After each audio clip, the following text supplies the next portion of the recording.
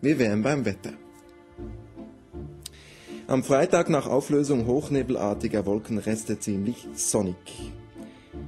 Dann geht's weiter mit den Temperaturen zwischen 7 und 9 Grad, die Schneefallgrenze 800 Grad. Ich nehme noch Tankmost, laufe gegen meinen Backer runter, schaue, wie das ist und dann höre ich auf. Das, das hat keinen Wert.